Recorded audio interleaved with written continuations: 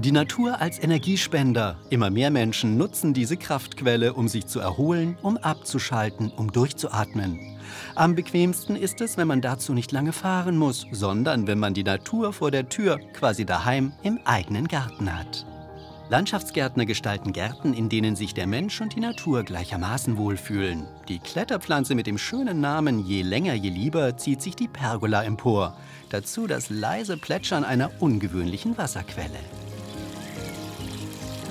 Naturstein und vor allem Holz gehören zu den bevorzugten Materialien in naturnahen Erholungsgärten. Kreativ gehen die Experten für Garten und Landschaft mit den Werkstoffen um. Ein Boot wird zur Beeteinfassung. Traumhaft, die perfekte Blumenwiese. Ganz natürlich wirkt sie, aber der Profi hat sie sehr genau geplant. Lavendelduft umspielt den Sitzplatz. Schatten spendet ein Weinstock. Die richtige Bepflanzung macht's, das wissen die Landschaftsgärtner ganz genau. Nichts überlassen sie dem Zufall.